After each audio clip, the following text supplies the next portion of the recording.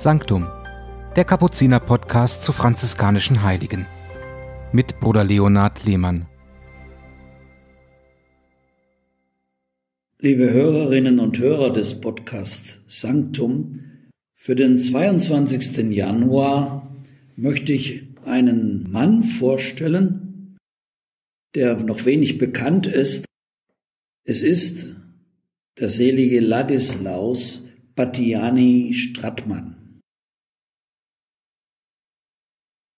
Nachdem ich beim letzten Podcast eine Klosterfrau, eine, die im geschlossenen Kloster in der Klausur lebte, eine Clarisse vorstellte, nämlich die Eustochia Calafato, haben wir es jetzt mit einem zu tun, der voll im Leben stand, nämlich ein Arzt.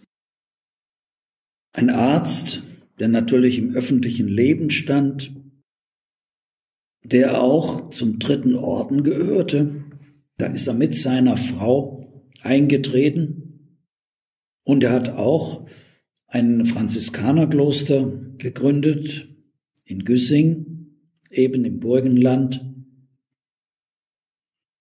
Aber das Wichtigste, was ihn so beliebt machte und was ihn auch in der franziskanischen Geschichte einem heiligen Franziskus ähnlich machte und anderen Missionaren, ist seine Hingabe für die anderen, für die Nächsten. Er hat bis zu 100 Patienten jeden Tag behandelt.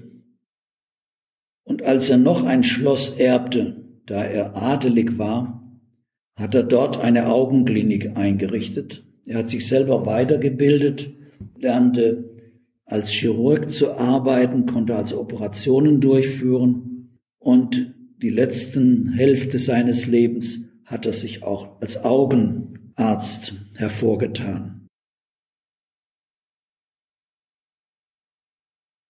Das verschaffte ihm öffentlichen Ruhm, Bekanntheitsgrad, so dass er auch gewählt wurde in den Landrat. Die Stadt wollte ihn zum Bürgermeister machen.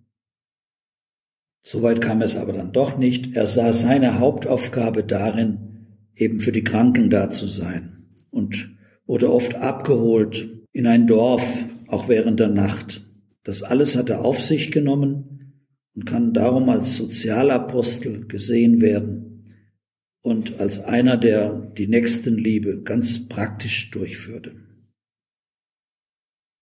Für heute lehrt er uns, all denen, die in der Pflege tätig sind, im medizinischen Bereich, dass Ärzte und Pfleger nicht auf sich schauen zuerst, sondern auf die Bedürfnisse des Kranken, dessen, der kommt und um Hilfe bittet.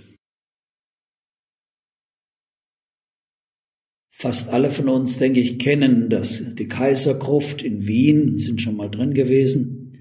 Aber nach dieser großen Gruft, Kaisergruft, ist die Gruft in Güssing, im Franziskanerkloster, die zweitgrößte Anlage einer Totengruft, die man in Österreich findet.